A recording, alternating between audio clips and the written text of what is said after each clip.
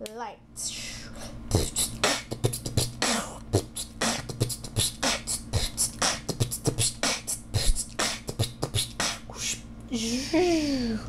So, electronic dimmer right there. Yes, really nice, stable.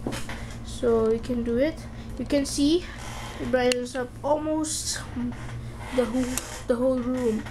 So if I adjusted light, yeah, this is more dim.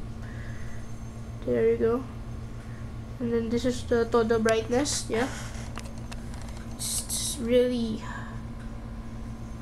um, bright. And this is our 100 watts incandescent bulb. So it's bright. Really bright. This one's for you and me, living out our dreams.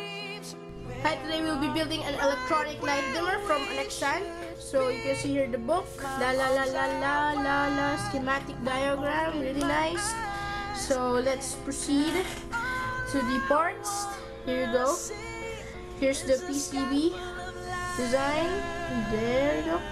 And first we have the incandescent bulb socket. Bought it uh, 15.75 at SM Omini. You have here a 220 volt plug, wire, then um, 22 AG volt, AWG.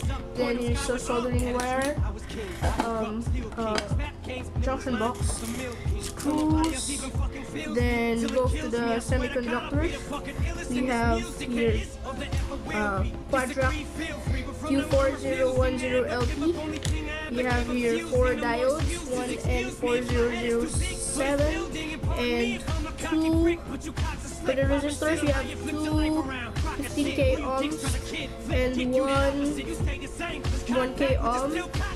Also, we have uh, for the capacitor 630 polyester and 100 volt mylar, 1 microfarad, and this is 0.068 microfarad. Then a 500k linear potentiometer with on and off switch, really cool.